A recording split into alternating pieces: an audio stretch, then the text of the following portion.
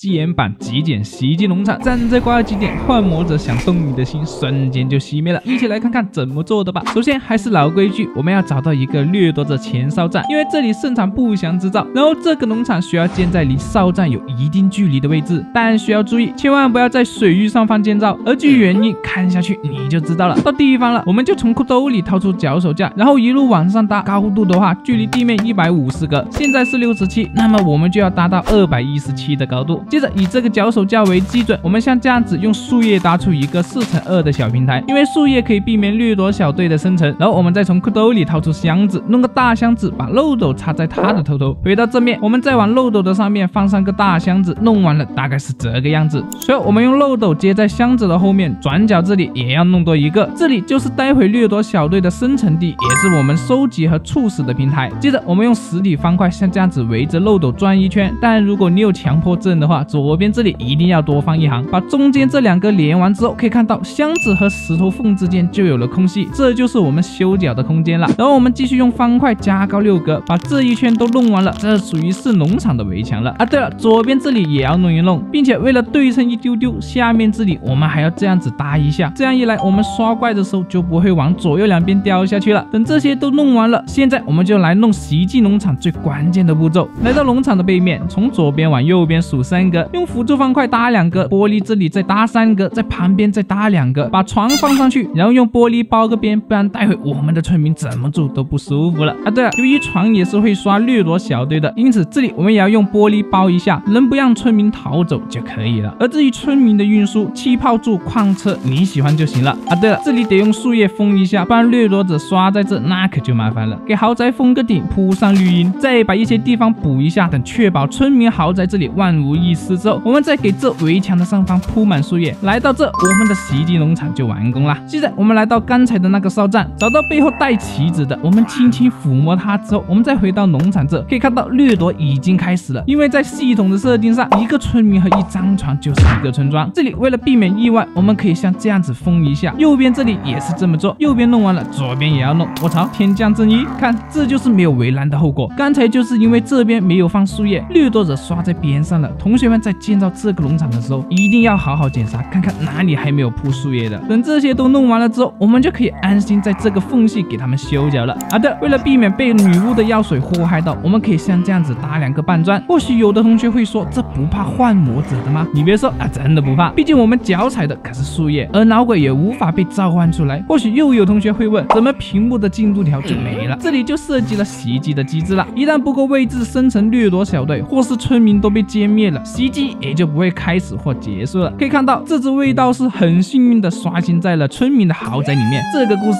告诉我们，玻璃也是可以刷灾厄村民的。因此，我们需要把这两块玻璃打了，然后把树叶给填回去。来到这里，我们的洗衣机农场就算是完成了。但如果同学们只想捡装备，偶尔用来清理一下身上的不祥之兆，那么你可以像 G 六这样，在这三个位置放上按钮，然后把岩浆放在这里。因为按钮的存在，岩浆并不会外漏。接着，我们再把一桶水倒在对角的位置，这样。一来，一旦有掠夺小队生成，他们就会被送往洗头的路上。但这里也看到有一些顾客就很贪心，不仅想洗头，还想洗澡。因此，我们需要用方块限制一下他们的活动，不然他们离去时的掉落物可能就会被岩浆给吞了啊！对了，有方块的地方就要放树叶，并且对于女巫这种还能吃抗火药水的雌性动物，这里还是需要我们手动清理的。到这里，我们的肩膀袭击农场就完成了。总的来说，还是非常的简单好用，快叫上你的村民一起去试试吧！好了，以上上便。是本期视频的全部内容啦！吃个金针菇，我们下期再见。